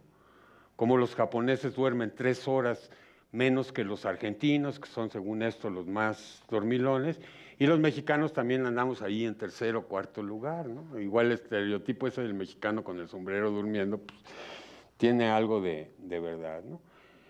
Entonces, todo esto de inteligencia artificial que ya no me va a dar tiempo de presentar y todo lo de la sociedad de consumo, una crítica a la sociedad de consumo que ahora está siendo impulsada muy poderosamente por sistemas artificiales inspirados en la inteligencia natural.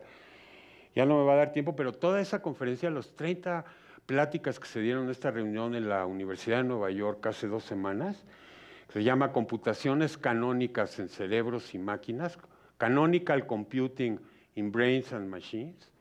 Fue como un aquelarre de los principales gurús de inteligencia artificial y de neurociencias de todo el mundo, que pueden ustedes ver gratis en Internet, o sea, también hay que hablar bien de Internet porque tiene muchísimas, increíbles posibilidades educativas. Y ahí, ahí, ahí, realmente pueden ver la relación entre esto primero que presenté y cómo le están haciendo ya en el mundo de adeveras. Para terminar, eh, los estudios del doctor Seki en cuanto a la belleza, entonces él ponía a la persona en el tomógrafo con cuadros que la persona previa, cuadros de museo que la persona previamente había considerado como bonitos o como feos, veía qué zonas del cerebro se le activaban cuando le pasaban los cuadros bonitos, y pues ven ahí en los lóbulos frontales, en la parte íntima del cerebro, qué zonas se le activaban con algo feo, con, cuadros que esa persona consideraba como fea y vean ustedes cómo es la corteza motora del hemisferio izquierdo, ¿sí? del izquierdo, o sea, la fealdad, ¿no? los cuerpos despedazados, el estudio de X la fealdad en el izquierdo, eh, cómo las caras pues, se procesan en las zonas que ya sabemos, eh, igual también lo, relacionado con, con espacios, eh, con naturalezas muertas, básicamente la vía visual, y algo que a mí me intriga mucho, que por favor no se rían, el arte abstracto no activa ninguna zona que se haya podido detectar, lo cual puede querer, les pedí que no se rieran, lo cual puede querer decir, digo, varias cosas, ¿no? muchas cosas, ¿no? de repente un intrigante, ¿por qué? No? Pero luego a lo mejor ya son tan precisas las señales o sea, un refinamiento exquisito del arte que, ya nada más activa unas cuantas neuroncitas y con esos aparatos que ven como conducta muy global no se alcanzan a ver, ¿no? No sé, eso es un tema a investigar. Eh, por último, el doctor Risolati, el que descubrió las neuronas en el espejo, eh, agarró estatuas ¿no? del canon clásico, Praxíteles y eso, y las distorsionó. Ya ven que el canon clásico en medio respeta la proporción áurea, y entonces a uno los hizo de piernas muy largas, de otras piezas muy cortas, rompió la proporción áurea y vio qué zonas se activaban con esa distorsión. O sea, qué zona del cerebro es sensible a la belleza clásica de las esculturas tipo Praxíteles y qué zona no. Y ahí está la zona. Ahí está. Lo que está en morado, dos, apréndanse, consta que casi he logrado evitar a la neuroanatomía las dos zonas son las ínsulas que están en morado, que nadie conoce y nadie pela porque están como metidas, pero que es un lugar fundamental del cerebro. Ya no nomás el lóbulo frontal, las ínsulas es donde se está integrando toda la información introspectiva con la información del mundo exterior, uno de los centros nodales del funcionamiento de su cerebro y se ha demostrado que los artistas, cuando menos los bailarines y los músicos, son mucho más sensibles a las señales introspectivas. Pueden de alguna manera decir mejor que otros, por ejemplo, cómo está su frecuencia cardíaca y cosas así. Y hay una relación directísima entre la ínsula y la identidad y la mismidad. Y de alguna manera todo eso, en base a los estudios del doctor Rizzolatti, se relaciona con la belleza. ahí tienen las zonas de la eh, belleza eh, musical y visual. Y también estudiaron el sentido de belleza matemática, porque los matemáticos esta fórmula, por ejemplo, les produce gran placer, casi iba a decir orgasmo, pero digo, por la austeridad republicana de los muros no, no lo digo, pero eh, eh, o sea, esa fórmula que te está combinando cuatro cosas totalmente diferentes, ¿no? que son unas constantes universales, un número imaginario, el uno, y todo eso combinado te da cero. O sea, eso de alguna manera para la mente matemática es producto de profundo placer. Y ahí está la zona del cerebro que se activa con la belleza matemática. La belleza matemática no es trivial. Paul Dirac inventó los, los positrones que permitieron esta presentación porque decía que su fórmula estaba muy bonita. O sea, que estaba bien pensada su fórmula desde el punto de vista del movimiento del electrón, que le salía el negativo del movimiento del electrón pero que también le salía un positivo y que porque le salía en un positivo y porque la naturaleza es simétrica, porque a él esa fórmula le producía un sentimiento de belleza que si le quitaba el más ya no se lo producía, que esa fórmula debería de ser verdad. O sea, que en el universo existía la antimateria. Los colegas pues dijeron, este cuate ya, ya lo perdimos, ¿no? Tres años después se dio la demostración experimental de la presencia de positrones en los rayos cósmicos. Y de alguna manera Dirac pasó de candidato a hospital psiquiátrico a premio Nobel de Física en unos días. ¿Sí? Que es importantísimo, porque ese es el vínculo que ya tampoco me va a dar tiempo de presentar entre la música, el arte y el cerebro, que la relación es profundísima.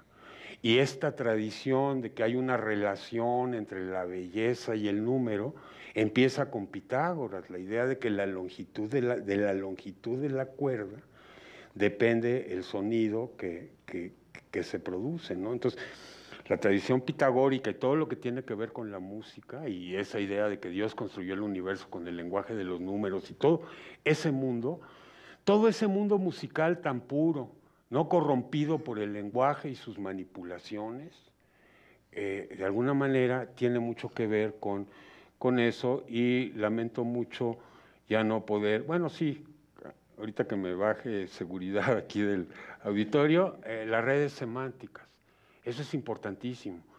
¿Cómo, está, ¿Cómo se representa las diferentes partes del lenguaje en diferentes zonas de la corteza cerebral? La idea de las este, redes semánticas. Y bueno, ahora sí, ya por último, eh, aplicaciones de esto, eh, de la inteligencia artificial en el arte. No lo promuevo como la gran idea, sino más bien como les estoy diciendo aguas, ahí les viene la competencia. Eh, tienen ustedes, por ejemplo, esta idea de que tú un cuadro tiene una serie de objetos, de contenidos, pero también un estilo. Entonces ya empezaron a simular el estilo de manera tal de que eh, el cuadro de arriba a la izquierda, que es un río famoso en Alemania, se lo, lo están mezclando, están haciendo un como morphing, de ese cuadro con esos colores a otro cuadro con otro estilo. Entonces aquí toman la noche estrellada del cuadro este famoso de Van Gogh, que también tiene propiedades matemáticas interesantísimas, que Octavio Moctezuma me ha como subrayado, y cómo sería una combinación de estos dos cuadros, o por allá abajo uno de Kandinsky, ¿no? Club, club, club, todo esto lo podemos esta última aplicación que tiene que ver con el diseño gráfico, que es este juego de, de Magic, y estas ya son tarjetas artificiales, o sea, tarjetas creadas por inteligencia artificial. Están viendo ustedes los primeros productos de la inteligencia artificial con redes neurales profundas del siglo XXI, de los primeros. Y termino, ahora sí ya, de veras, Muna, con otra cosita que están haciendo estos cuates, que es crecer a las neuronas encima de microprocesadores. y ver la manera de que se empiecen a comunicar y ver la manera echándole hormonas de crecimiento y eso a las neuronas para que crezcan en ciertas direcciones y con ciertas configuraciones arquitectónicas, lo cual ya implica un como matrimonio entre la inteligencia artificial y las neurociencias, no a nivel de software, de algoritmos y programación, sino ya a nivel de hardware. Les agradezco mucho su atención.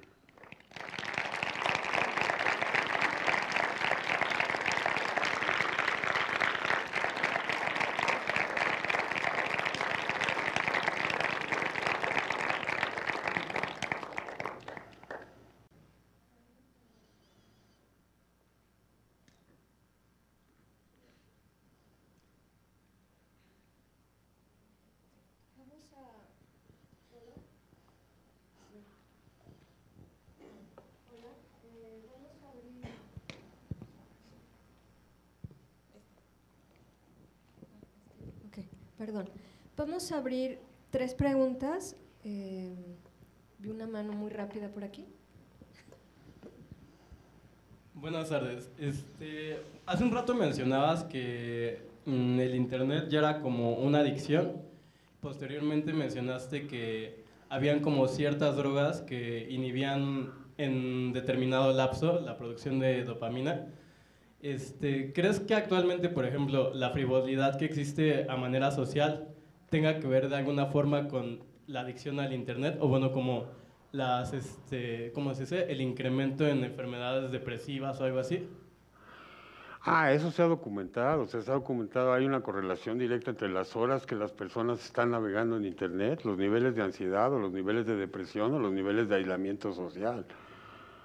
O sea, aquí no vengo yo a hablarle mal a los jóvenes de sus tecnologías de ahorita, o sea, todo esto estaba, ya les enseñé la gráfica, hay dos mil estudios documentando la idea de que sí es una adicción y que sí es, es como una descompostura de los mecanismos de dopamina que te lleva a buscar, buscar el siguiente shot de dopamina a través de Facebook o a través de la pornografía o a través de unos chocolates Carlos V o lo que sea, ¿me entiendes? Pero eh, esa como cosa de que de alguna manera una parte del cerebro y sobre todo la parte del cerebro que no es la parte que tiene que ver con tu mismidad y con tu intimidad, eh, se está descomponiendo, o sea, se está, ¿no? Y no nomás ahorita con ustedes, ustedes ya son un producto de muchas generaciones donde desde que el sobrino de Freud aplicó las ideas del psicoanálisis al marketing, eh, se viene de alguna manera ya muy sistemáticamente buscando esa,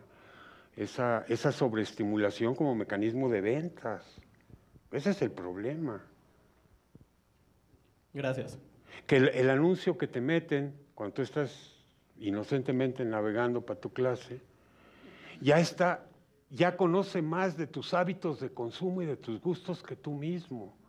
Tienen tus ciclos circadianos, entonces saben a qué horas, ¿no? Eh, o sea, ese es el, verdadero peligro de sistemas que saben más de ti que tú mismo y que tu mamá, de ti, ¿no? Acá, doctor. Buenas tardes, doctor. Muchas gracias. Eh, mi pregunta va eh, en torno a un personaje artista llamado Neil Harbison, que es considerado como el primer cyborg. No sé si lo ubica, que tiene una antena que le sale de acá, del de los lóbulos occipitales. Pero ¿cómo es posible que el cerebro sea creador de una plasticidad cerebral en la cual se detecten colores gamma, beta y etcétera, que él dice ver que nosotros no podemos ver. Y, o sea, él, tiene, él nació con acromatopsia, o sea, que es la incapacidad de ver colores. Y a través de esta antena, conforme fue creciendo, su cerebro fue creando una plasticidad en la que, según él, ve colores gamma, beta, etcétera, ¿no? Y como infrarrojos, y cómo el cerebro puede crear esta neuroplasticidad. Pues te agradecería mucho que ahorita la salida me des bien la referencia y me gustaría estudiarlo, porque digo, se puede estudiar experimentalmente. Yo puedo medir con aparatos infrarrojo y puedo ver si realmente está viendo o no infrarrojo. Entonces, se me hace muy interesante, se me hace una aplicación muy interesante. Yo como médico, pues como que me pone nervioso intervenciones sobre el cuerpo humano, pero por otro lado me doy cuenta de que eso es parte integral del arte contemporáneo y, que a lo mejor sí es posible aumentar ciertas capacidades metiendo este tipo de, cosas o memorias artificiales. O, o, sea, el siglo XXI va a estar lleno de esas cosas y qué bueno que los artistas están anticipando posibilidades. Pero sí, por favor, el que tenga así alguna pregunta muy importante y ya no de tiempo, me va a quedar un ratito ahí en las mesitas de afuera y con mucho gusto puedo ir contestando lo que me quieran decir. Tenemos otra pregunta. Eh, felicidades, doctor, por su espléndida conferencia. Eh, yo quisiera preguntarle la importancia que tiene para el cerebro la escritura de diarios. fundamental.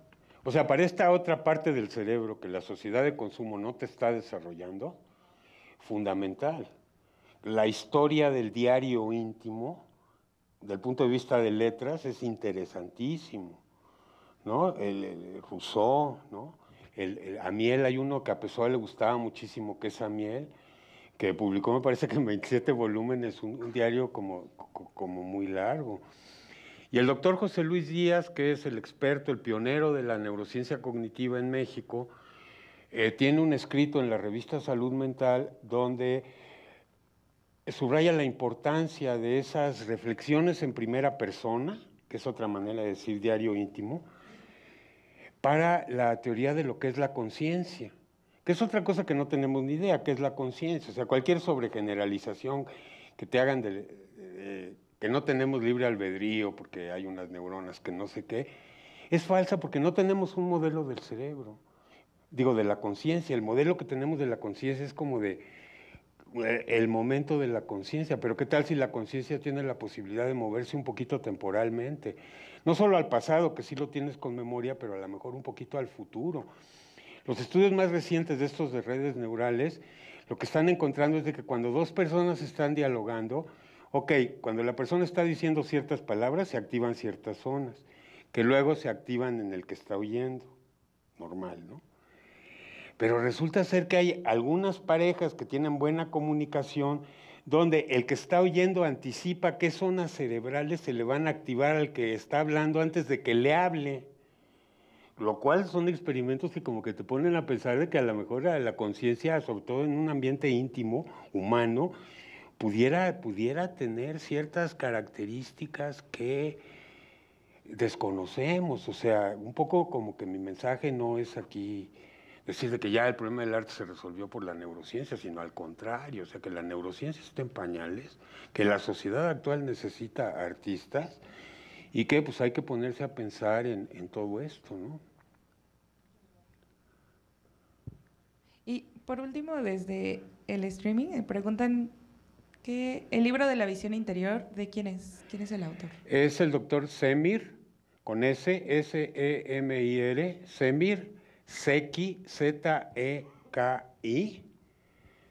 Inner Vision en inglés, Visión Interior en español, está traducido, tiene ya varios años, pero no importa, digo, lo más, más actual ya se los di yo ahorita, la, la cosa es cómo, cómo fueron describiendo, cómo le hace el cerebro humano para describir el mundo visual como fuente de inspiración para los sistemas de inteligencia artificial actuales. Pues agradecemos profundamente esta charla, doctor Gómez Montt. Esperamos que sea la primera visita de muchas al Centro Nacional de las Artes. Les agradecemos también su presencia y la presencia de las personas que nos han seguido en línea. Les pedimos estar pendientes de las actividades del programa Arte, Ciencia y Tecnología en nuestras redes sociales, en las redes sociales del programa y en las redes sociales, por supuesto, también de la UNAM. Muchas gracias. Un último aplauso a ustedes y al doctor. Buen día.